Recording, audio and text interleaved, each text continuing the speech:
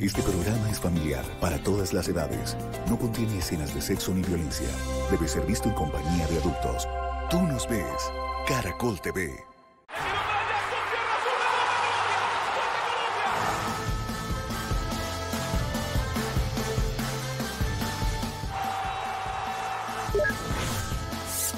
Hola, soy Jackson Martínez, más conocido como Chachachá, y hoy voy a estar con ustedes en Se dice de mí.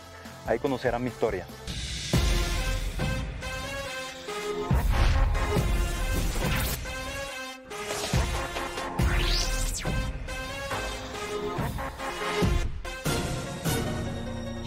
Fútbol es la gran pasión de este hijo del Chocó.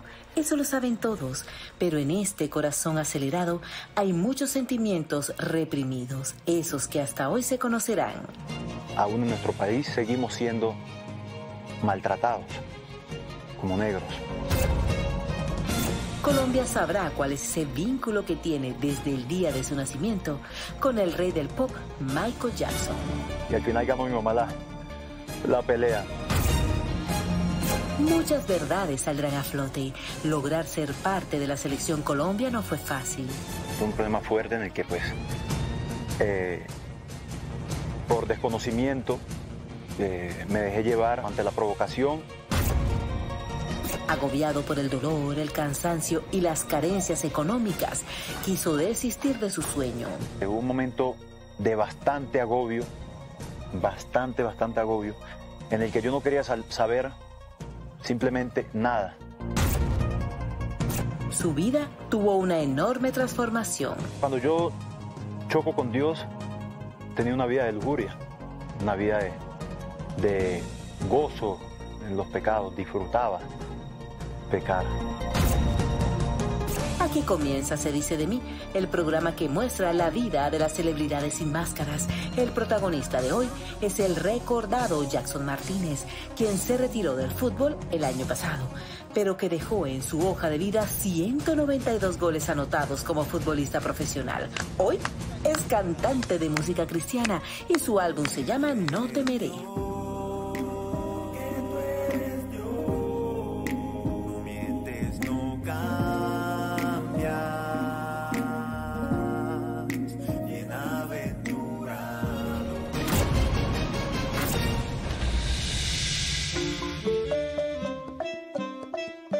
Una hora de tiempo bastará para que Colombia conozca mucho más a fondo a esta estrella del balompié nacido el 3 de octubre de 1986 en el Hospital San Francisco de, de Asís en Quibdó, Chocó. Era el primer hijo que teníamos y varón que siempre uno como padre siempre lo primero que dice es la madre siempre anhela tener una mujer, pero uno como, como varón siempre anhela tener eh, un hijo un hombrecito.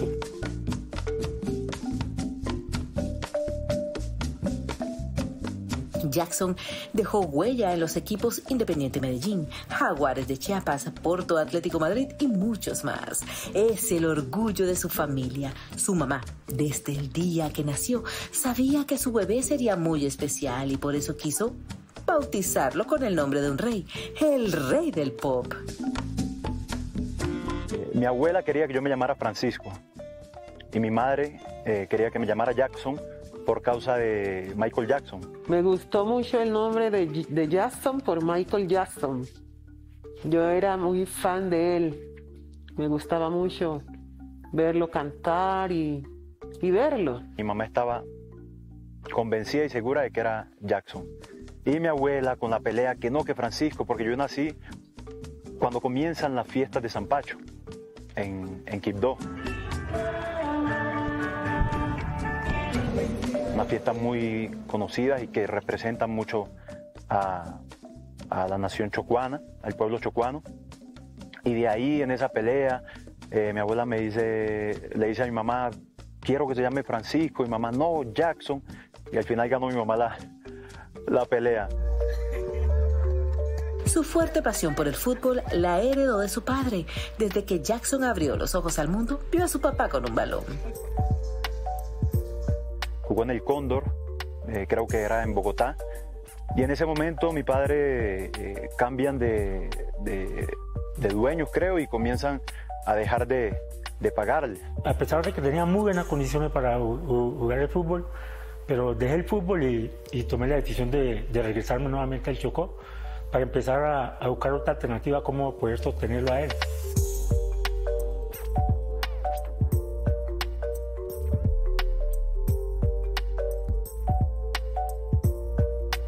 Mi padre, por ejemplo, aprendió lo de construcción, aprendió, eh, trabajó de celador también y ya después, con su preparación, llegó a ser profesor de, educación física, que aún lo ejerce.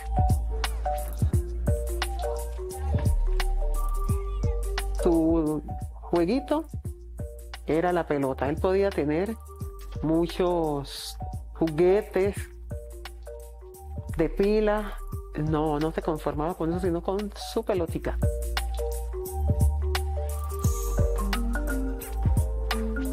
Tú en la infancia no piensas en qué vas a tener de aquí a 10 años.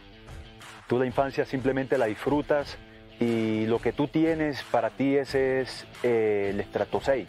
Quito era una ciudad muy tranquila en la cual poco se hablaba de violencia. Entonces libremente podíamos salir, compartir con los vecinos, jugar en las calles. Vivió su niñez eh, también muy feliz. ¿cierto? Disfrutándola y bueno, también todo con la pelota.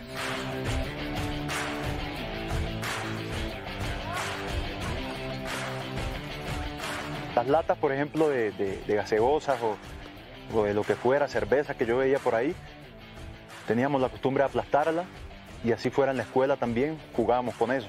Era una delicia y hasta descalzo, porque ya tú tenías callos en los pies, no, no sentías ningún dolor ni nada, pateaba piedras. Desde siempre ha sido un apasionado por los deportes. Sin embargo, primero se enamoró del básquet y después del fútbol. Me gustaba ver el, el básquetbol, agarré como esa pasión por el básquetbol. Y, pero el fútbol era lo que yo veía realmente eh, en lo que yo me podía proyectar para sacar mi familia adelante. O sea, ese fue como mi foco. Nunca le han gustado los apodos. Le tocó acostumbrarse a que le dijeran cha cha cha. Mi papá, eh, la gente le puso ese apodo y, a mí me decían de pequeño cha cha cha. Apenas hacía un gol, cha cha cha, cha cha cha, y ya la gente se contagió y, ya todo el mundo, eh, como hacía un gol era cha cha cha cha cha y ya me quedé así pero yo lo tomaba como si fuera una burla hacia mi papá y como si fuera una burla hacia mí también, el apodo. No sé por qué, pero lo tomaba así, entonces me molestaba al inicio, pero ya cuando comprendí ya, y hasta el sol de hoy que he chachacha. Para nosotros nos quedó mucho esa manera de llamarlo y todavía, pues hoy en día yo, yo cuando le escribo hablo con él siempre le digo chacha. Desde muy joven ha sido muy centrado en sus conceptos y metas. Jackson sabía que si quería progresar como jugador, debía sacrificar y hasta cambiar algunos puntos clave de su vida. Por eso empacó maletas y se fue a Medellín. Sus padres se mostraron preocupados. Pues nos dio bastante duro porque nosotros hemos sido unos padres muy dedicados, eh, muy apegados a nuestros hijos y y lo cierto es que conjuntamente con, la madre lo hemos direccionado muy bien. Sí, me sorprendió. Sin embargo, lo apoyamos porque como ya conocíamos el talento que tenía, ya nos habían hablado del talento, ya le veníamos haciendo un seguimiento, entonces, a pesar de sorprenderme, le dimos la oportunidad. Eh, al comienzo ellos, ellos como que, ¿estás seguro? Y yo, papá, estoy seguro. Yo quiero ir a jugar y a, estudiar. Inmediatamente yo hice lo pertinente, le conseguí por lo menos sus útiles, lo que necesitaba y, lo mandé con los abuelos en esa, en esa ocasión. Cuando me dieron el visto, el visto bueno para mí fue como que comienza un nuevo ciclo en mi vida. Y en ese momento eh, es difícil porque tú llegas a una ciudad donde tú no conoces a nadie, tú no sabes eh, con quién te vas a encontrar y mis abuelos ahí fueron un apoyo eh, muy importante en mi estadía ahí en Medellín. Me gustó mucho él porque la manera como se movía, cómo se giraba y me llamó la atención la estatura, porque acá en el fútbol también se mira, no se escoge solo por la estatura, sino que es parte fundamental también. Comencé ahí jugando en el barrio, entonces ya los, los muchachos van viendo eh, que tú juegas bien y te siguen llamando para, para los otros partidos. Y el barrio Enciso eh, estará en mi corazón siempre, porque fue un barrio que a mí me enseñó muchos peligros, ¿cierto? Que no conocía, que no había vivido. Y a su vez, gente trabajadora, gente honesta, gente amiga. Eh, siempre aparecen personas buenas que extienden la mano.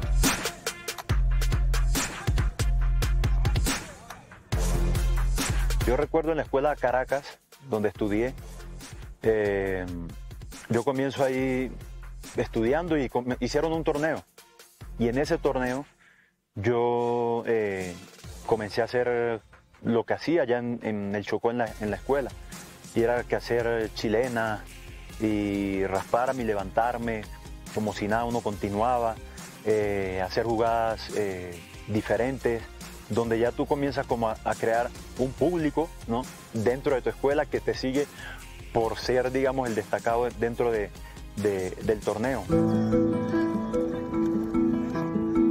Mi padre en ese momento, los guayos de él, los, cuando ya estaban, ya que lo había usado y eso, cuando no tenía la oportunidad de comprar guayos, pues los que él tenía, si ya estaban eh, dañados, me lo enviaba. Si los que ya me había enviado estaban buenos y a mí acá se me rompían, pues yo lo que hacía era que mandaba a coserlo. Cuando tú mandas a coser los guayos, y si son varias veces, van quedando un poco más pequeños. Y imagínate, o sea, con los dedos ahí, apretados tú jugar, pero mira, para mí tener esos guayos que mi papá me enviaba era como tener unos guayos de cualquier marca grande. No había para comprarle los guayos en el momento, me tocaba eh, salir, coger los guayos míos, eh, embolarlos, irme al aeropuerto y, pedirle el favor a algún amigo, amigo que me le que me le llevara, que me trajera estos guayos acá a Medellín para que él pudiera hacer el entrenamiento mientras que había la posibilidad que me pagaban para poderle comprar los guayos. Él venía con los zapatos mm, rotos y a toda hora había que prácticamente coserlos, ¿no? Él ese día llegó con unos guayos Maracana verdes. Maracana es una marca pues, que todo el mundo en Medellín conoce porque son guayos como muy guerreros, los que uno cuando no tiene mucha plata empieza. Y, pero ya estaban en un mal estado. Y me acuerdo mucho varios compañeros eh, burlándose de, él. Los momentos más difíciles de mi vida yo los he valorado. Porque en los momentos más difíciles Dios me ha dado las mayores enseñanzas que no sé si fuera esos momentos yo las aprendería. Por eso yo le digo a los jóvenes, tú quieres esto, te va a costar, te va a costar. Ahora, ¿cuánto lo quieres? Es lo que va a marcar la diferencia. Al regresar a Se dice de mí, Jackson Martínez confesará cómo logró superar los problemas económicos, la discriminación y las tristezas y después convertirse en una estrella de fútbol. Si con comentarios me quieres esclavizar, yo ya no soy esclavo.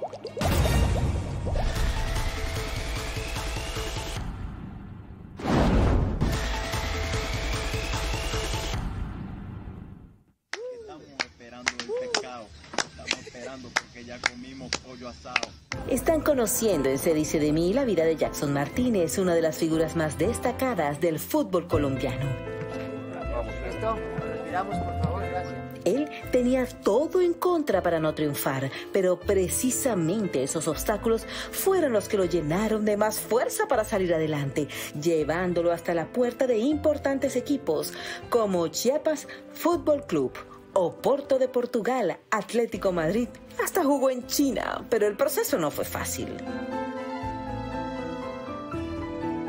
yo recorrí prácticamente, fui a todos los equipos, yo creo, en Medellín, buscando pruebas, probándome aquí, probándome allá. Hay veces 5 de la mañana, 6 de la mañana estaba en un entrenamiento. Como eran tantos jugadores, hay veces terminaba a las 10 haciendo fútbol y no jugabas ni un minuto. Te decían, vuelva mañana. Y mañana pasaba lo mismo. Primero recuerdo en Deportivo Enciso, con Gustavo Castrillón, que fue un es un entrenador que, que aprecio mucho, porque hay veces jugábamos los partidos de liga y no teníamos los jugadores completos. Ya le tocaba buscarse los pasajes del uno, buscarse los pasajes del otro. Si jugábamos por allá lejos, pues bueno, no todos tenían, no se alcanzaba a conseguir los pasajes para todos. Íbamos nueve jugadores, ocho, hay veces íbamos diez y sin suplente. Y ya cuando paso a Copebombas, comienza a cambiar todo. Cuando yo llego a Medellín, a las inferiores, mira, en ese momento yo digo, aquí me hago, mejor dicho, como uno dice, aquí me hago matar por esta oportunidad. O sea, yo llegué a Medellín y yo dije, esta es mi, mi oportunidad. ¿Cuánto tiempo voy a demorar en llegar al fútbol profesional? No sé, pero esta es mi oportunidad. Y en mi mente estuvo siempre, mientras yo tenga posibilidad, no voy a desistir. Era eso sí una persona que, que desde el primer minuto te imponía respeto en la cancha, porque para él todo era como si fuera una final, eso siempre me impactó de él. Se sintió millonario cuando recibió su primer sueldo como futbolista. Era el año 2004. Cuando yo llegué al fútbol profesional, que me llama Pedro Sarmiento en el 2004, yo ahí me ganaba 300 mil pesos. El tema fue que, que se creyó en él por su actitud, por su humildad, porque es que hay veces usted le dice a un pelado de esos, venga hermano, ¿y usted por qué llega tarde? Y le contestan a uno mal, le, contestan feo, o hay una reacción maluca, pero uno veía que él, él tenía ganas de llegar. Era algo satisfactorio porque él había soñado con eso, de sacar su carrera adelante.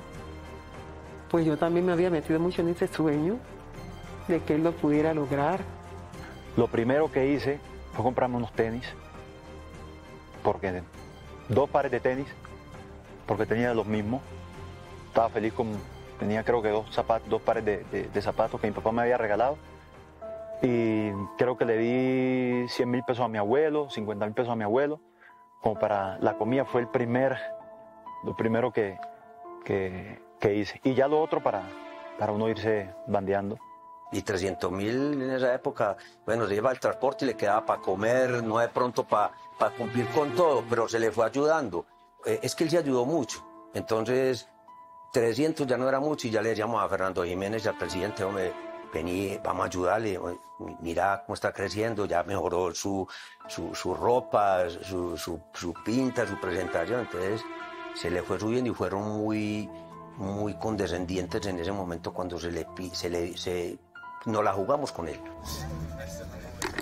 Hubo un momento en el que quiso desistir, olvidarse del fútbol y regresar a casa. Claro, tú no, no comienzas a marcar y la gente comenzó a agarrarla conmigo. Comenzaron a agarrarla conmigo y eso era cada vez que yo agarraba el balón, todo el estadio chiflando, la mayoría chiflando, eso fue lo más duro dentro de un campo que, que pasé. Esos momentos pasan y yo lo pasé. Hubo un momento de bastante agobio, bastante, bastante agobio, en el que yo no quería saber simplemente nada de eso. Toda esa situación llegó un momento en el que ya te oprime, te oprime, pero después tú ves porque cuando hay algo que te oprime a ti, tú tienes que ver si te quedas ahí o qué vas a hacer para salir de ahí. Yo en ese momento pues dije, pase lo que pase, vamos para adelante. Él se ayudó con su humildad, con, con la forma de, de, aceptar las cosas y de quererlas superar paso a paso, su, su puntualidad, su alimentación, su entrenamiento, el aguante de la tribuna. Cuando, cuando debutó, que debutó, lo llamo Bucaramanga, pero cuando debutó en Medellín, yo le dije, vaya pues y entre a ver. Y no le pare bola a nadie. Usted haga de cuenta que usted está jugando en su barrio y, y aguante, venga de márquese, toque la pelota, tóquela. No vaya, que no vaya a pasar tiempo y usted no la vaya a tocar, porque yo no me acuerdo cómo iba el partido. Y le vaya, vaya y busque la pelota, no espere que le llegue. Vaya y, y, y búsquela y tóquela para que usted se dé cuenta dónde está. Es una persona de temperamento fuerte. Cuando algo no le gusta, se nota. Jackson jamás permitió ser discriminado. Nosotros aún seguimos siendo maltratados como negros. Aún en nuestro país seguimos siendo muchos, ¿cierto? Hay una minoría que lo hace, pero todavía seguimos siendo, eh, y ha sido la oportunidad que Dios nos ha dado de salir adelante, ¿cierto? Porque siempre al negro se le ve, el negro parece que tiene que trabajar el doble. El, negro ha demostrado que puede salir adelante sin hacerle daño a la sociedad. Si sale un negro en la televisión, negro tenía que ser. Si es otra persona, no. Te voy a contar una anécdota. Me encontré una persona en el aeropuerto de España. No recuerdo, fue de los momentos que más ira tuve. Me encontré una persona, íbamos pasando el control y la persona me... eh, yo agarro el- la casetica para, para, para, poner las cosas y yo giro acá para poner las cosas, pero el señor ya había puesto la de él. que Yo no había visto. Entonces yo pongo mis cosas ahí cuando él dice, esa es mía. Yo le digo, ah, qué pena. Entonces dice el, el, el de seguridad, dice, no, pero comparta esa, puede agarrar otra. Y él dice, yo no comparto con negro. En ese momento, mira, yo me le acerqué y se me vino el pensamiento automáticamente, tumba eso, ¿me entiendes? Tumba eso. Vas a quedar preso aquí, no vas a poder viajar. Yo a un partido, una convocatoria con la selección. No vas a poder viajar, no vas a dar buen ejemplo. Se me vinieron todas esas cosas. Y el Señor, gracias por darme control en estos momentos. Le dije, ok, Señor, eh, dejé eso ahí.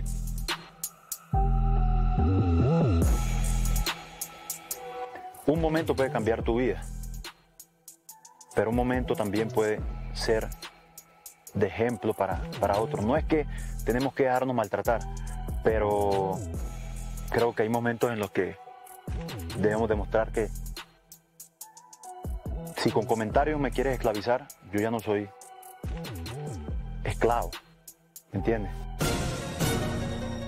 Ya regresamos a Se dice de mí, el programa que muestra la vida de las celebridades sin máscaras. Yo estuve dos años sin poder jugar.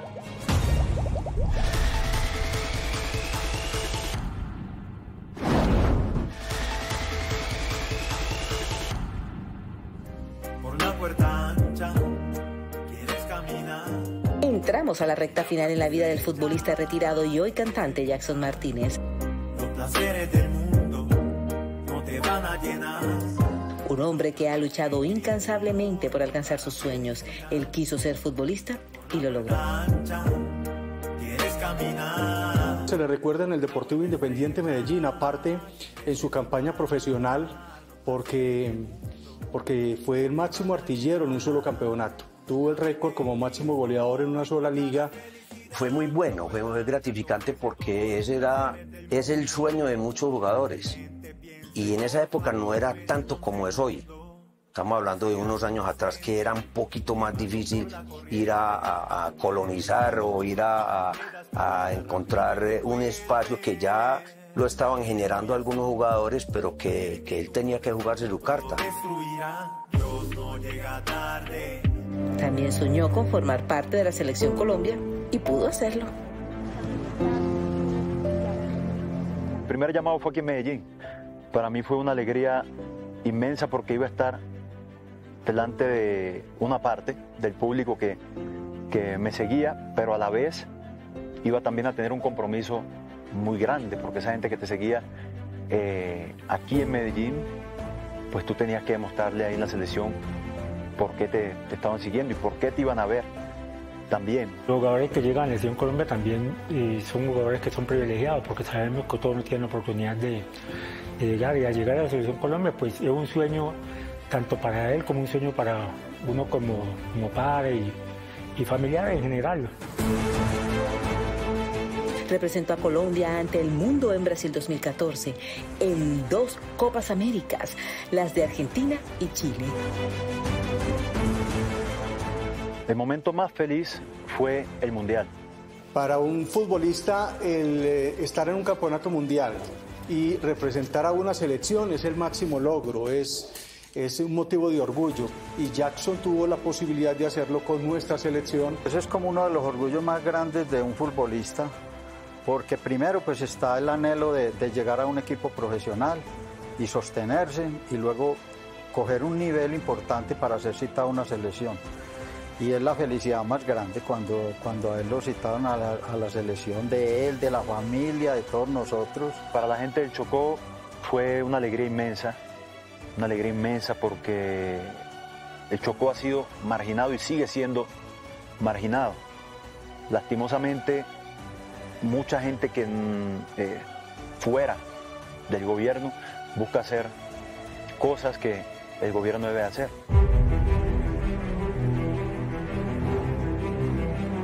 Algo muy especial que tengo con, con mi pareja Jackson es que lo más importante para él cuando estábamos ahí en la selección, que teníamos ese tiempo, que podíamos compartir, creo que cuando entendió el mensaje de nuestro amado rey, él quería compartir esas buenas noticias con cada uno de nosotros, esa noticia de, de, de esperanza, de salvación. Creo que eso fue lo que más me impactó de él. Entonces creo que es algo muy bonito que, que él tiene y, y, espero que lo siga haciendo porque nunca sabemos dónde va a caer la semilla que va a dar ese gran fruto. Esas cosas de niños que yo tenía, poder cumplir ese anhelo de dedicarte primeramente a ti, el gol o los que marque, y segundo dedicárselo a mi pueblo. Que el mundo sepa que Chocó está en el Mundial de Brasil 2014. Dios me dio la bendición de, de, poder disfrutarlo y dedicárselo a todo ese pueblo chocuano. La casa estaba totalmente repleta, llegaron aquí primos, sobrinos, tíos, amigos de allá de Quibdó, eh, de otras partes del Chocó, paisas, vecinos. Fue una locura totalmente.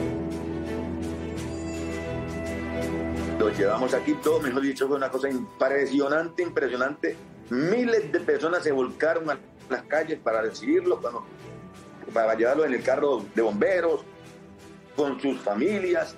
Después, es decir, y esto fue apoteósico en el malecón de Quindó al lado del río Atrato. Jugó en España, México, Portugal y China. Claro que de ahí regresó con un mal sabor.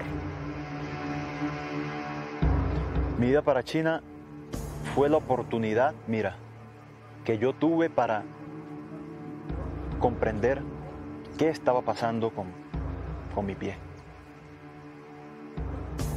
Ahí fue donde yo pude comenzar a comprender qué estaba pasando, pasando con mi pie porque tuve otra lesión, en la que casi me parte en la tibia, mucho más fuerte que empeoró, empeoró todo.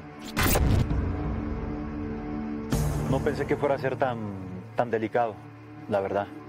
Y normalmente tú te encuentras gente negligente, profesional, no sé si decir profesional, porque tú te encuentras gente que sabe lo que tú tienes, pero no te lo dice. Yo había tenido ya cuatro esguinces porque mis pies son así eh, o, o arqueados. Y tuve problemas en los tobillos desde que estaba en Medellín. Conozco lo que es un esguince. Esa es la historia de, de, de los jugadores de fútbol. Se puede, se puede acabar de un momento a otro. Como, como se le empezó a mermar a él esa, esa posibilidad, gracias, digámoslo así, a, a esa lesión. Luego de analizar muchas situaciones que venían sucediendo, decidió que era el momento de su retiro. Cuando yo tomo la decisión, fue algo muy pensado. No fue algo a la ligera. No fue que me levanté, no, ya voy a soltar esto. No.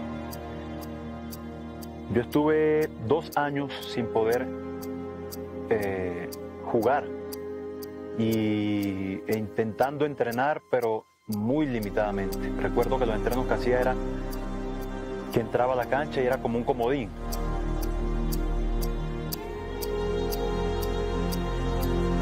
Dos años de recuperación, estuve eh, en Porto recuperándome un tiempo, estuve en Madrid recuperándome un tiempo, fui a China, fui a Indianápolis, Miami. Hubo un momento en el que yo sentí que no avanzaba, o sea, no avanzaba la recuperación. Iba muy lenta, muy lenta. Y en ese momento pues tú eh, te fortaleces, pero las lágrimas salen porque tú sientes también. Y las lágrimas son parte de tu expresar el dolor que sientes sobre una situación.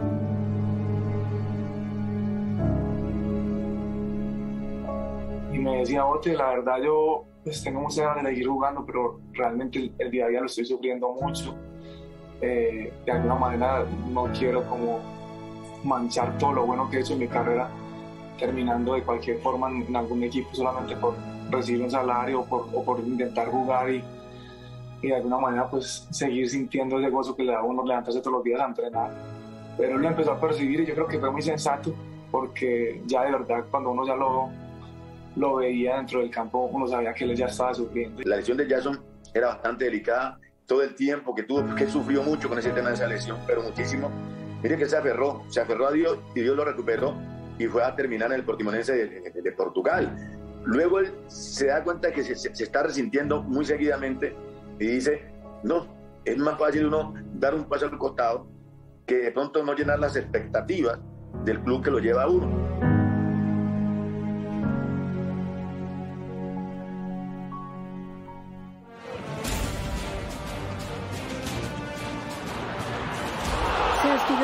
Sabiendo que le entregó los mejores años de su vida. Cerrar el ciclo no fue fácil. Estoy sorprendido por tantos mensajes de apoyo que he recibido y pido disculpas por no poder responder a todos sus mensajes. Por eso hago este video para agradecer el apoyo, el afecto que sienten por mí y admiración por mi trabajo. Se fue agradecido, con la conciencia tranquila y con un proyecto entre manos, ser cantante de música cristiana.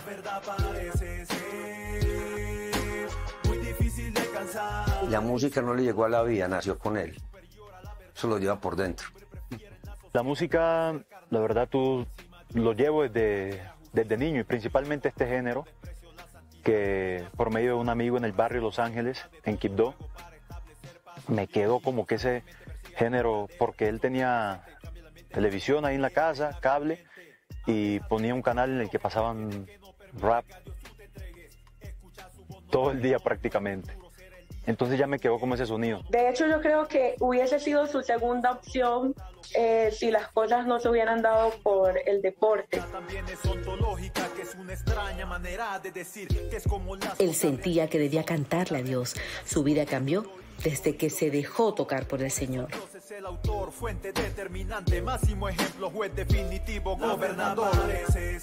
Me sorprendió cuando él empezó a crecer en la fe. Me di cuenta cuando él estaba en México.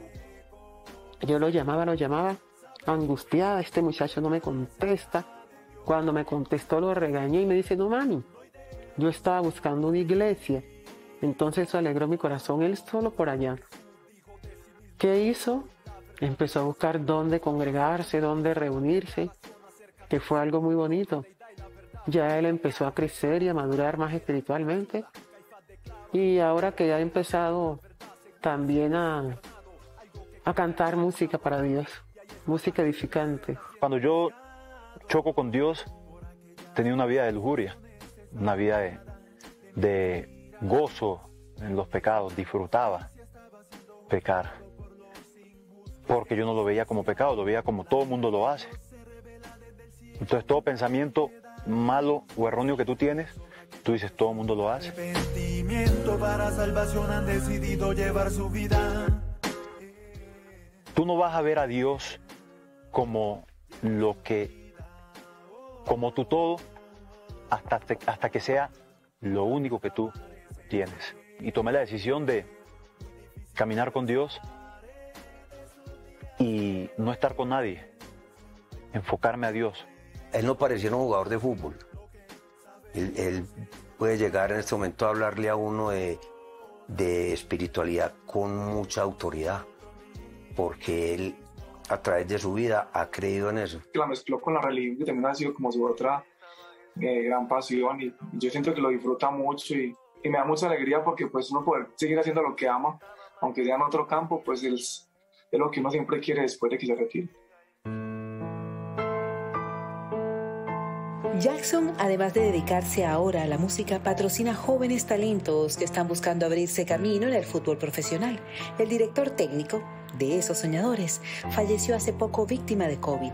Días antes de morir, había grabado este mensaje para su querido y admirado amigo Jackson Martínez. Bueno, la importancia de la fundación es bastante, bastante en la vida de todos esos jóvenes porque si bien no solo influye en lo deportivo, influye en lo social, el acompañamiento de su familia, es el acompañamiento tema económico de los muchachos, muchos que muchas veces vienen sin desayunar o sin un pasaje.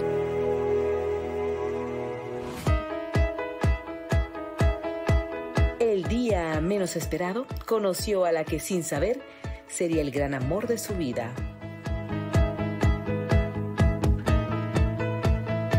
Y ella no tenía novio, yo tampoco tenía novia. Entonces nos sentábamos juntos siempre.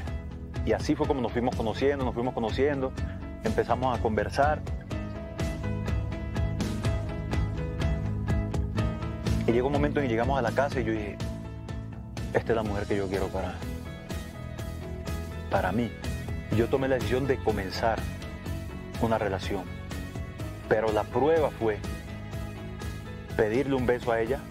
Si ella me lo daba, para mí iba a ser una tristeza porque yo iba a cortar ahí de raíz todo. Si no me lo daba, para mí era como que vamos bien. Y en ese momento llegamos a la casa de, ella y, y, yo le digo, nos vamos a despedir, yo le digo, ¿me regalas un beso? No, yo no le doy besos a quien no es mi novio. Y en ese momento él no era mi novio. Y no, ya me bajé del carro, ya no se lo di. Y yo, no, así es, está bien. Me despedí y yo me fui como que, como que contento. Entonces desde ahí ya bueno, como que se fueron comenzando ahí las cositas diferentes entre nosotros y bueno, ya terminamos siendo novios.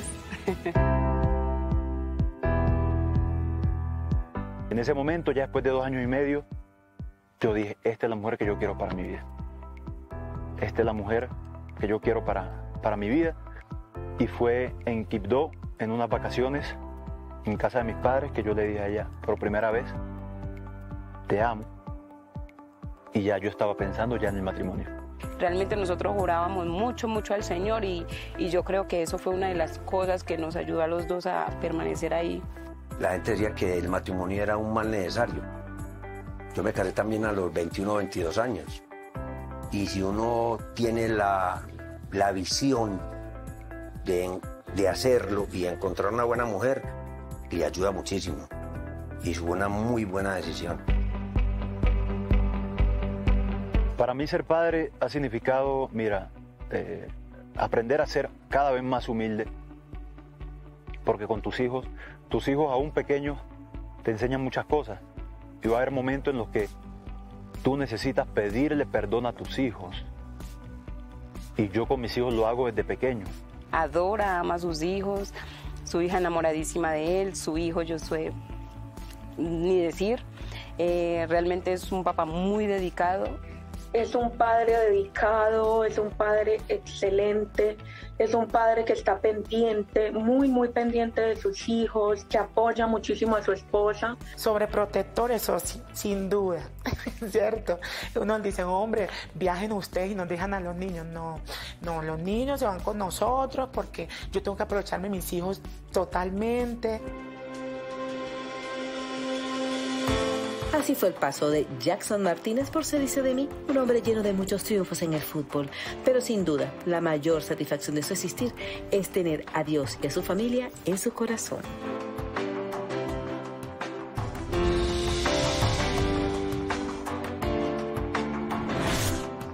No, jefe, eh, Jackson, fundador de esta hermosa fundación, eh, quiero desearte pues un saludo y recordar lo importante que sos para, no solo para este grupo humano de trabajadores, sino para todos estos jóvenes que algún día logran o quieren llegar a ser como vos, lograr sus sueños. Lo felicito, me alegro mucho por todos sus, sus triunfos y, y bueno, se hizo con mucho cariño en su momento y, y que siga para adelante. Mi hermano, sabes que te quiero mucho, que, que te admiro mucho, eres un gran referente, así que muchas bendiciones por ese gran ejemplo que eres. Un abrazo, Maní. Que esté bien, que Dios me lo bendiga y que siga para adelante. Un saludo muy cariñoso, afectuoso. La mejor de las suertes para ti, para tu familia en esta nueva etapa familiar y profesional que encarnas. Cuídate mucho, hasta siempre y te llevamos siempre en el corazón. Te quiero mucho, eres fuente de inspiración en la vida de, de todos nosotros. Eh, admiro tu, tu humildad, eh, todo lo que hiciste pues es muy grande, pero creo que lo más grande que tienes es lo que eres como ser humano. La gente me llama mucho, te quiere mucho, tu humildad y tu sacrificio y tu entrega por, por todo lo que te propones. Sigue siendo ese ícono en la familia, sigue siendo ese faro en la familia, sigue siendo el hombre que marca el norte y que marca la pauta en tu hogar y en tu familia. Te amo mucho y te mando un abrazo grande y enorme. Dios te bendiga. Te admiro demasiado, te amo con todo mi corazón y bueno, te envío besos y abrazos. Hola Jason, mijo, querido del alma. Te felicito por ser un siervo de Dios. No solo jugaste fútbol, sino que ahora sos un hijo de nuestro Señor Jesucristo.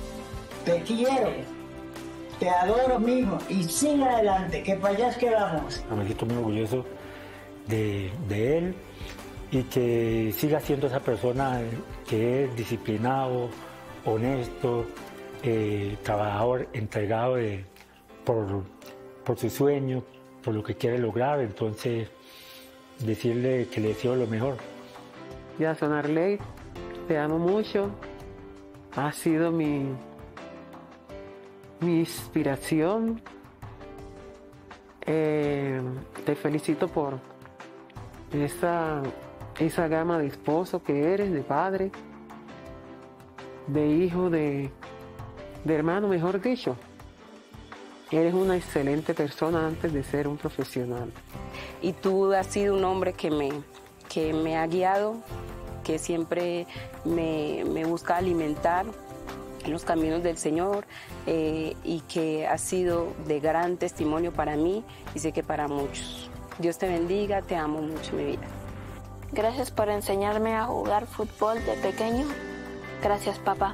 Me gusta em, jugar con él y también me gusta jugar algunas cosas, jugar fútbol o jugar o saltar en el trampolín. Te amo. La gratitud.